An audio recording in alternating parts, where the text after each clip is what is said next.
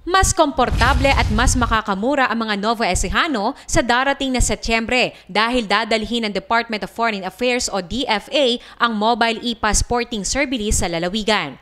Sa pakikipagtulungan ng Provincial Government Public Employment Service Office o PESO ay mapapadali ang mga kukuha ng bago at renewal na passport dahil hindi na kailangan pang lumuwas at magkagastos ng malaki. First come first serve sa 600 slots ang target ng DFA. Paalala ni Mr. Michael Calma, hepe ng PESO, hanggang sa ika-21 ng Agosto na lamang ang pagpapasa ng aplikasyon.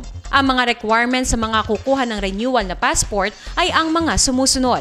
Application form na maaaring makuha sa www.dfa.gov.ph, photocopy of old passport, 3 valid IDs. At para sa new passport, dalhin ang mga sumusunod.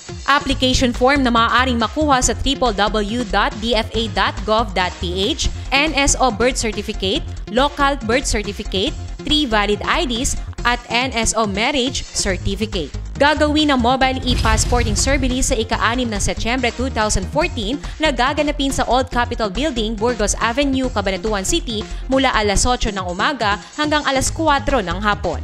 Ang nasabing programa ay hatid ng pamahalaang panlalawigan sa pangunguna ni Governor Oy Umali, Vice Governor GP Paternos at Congresswoman Cherry Umali. Sa ilang katanungan, maaaring tumawag sa himpilan ng peso sa numerong 0927-290-0747.